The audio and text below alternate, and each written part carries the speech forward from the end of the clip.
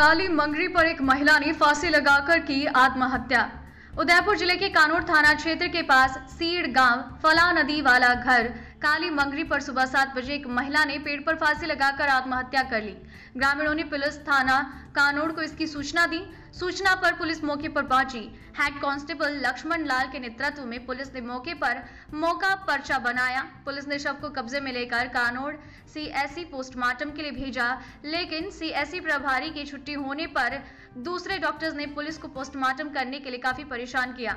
वही डॉक्टर ने अपनी मनमानी चलाते हुए पुलिस को सुबह आठ बजे से लेकर दो बजे तक खड़ा रखा। पोस्टमार्टम में देरी को लेकर ग्रामीणों ने आक्रोश भी जताया। उसके बाद शव का पोस्टमार्टम किया गया।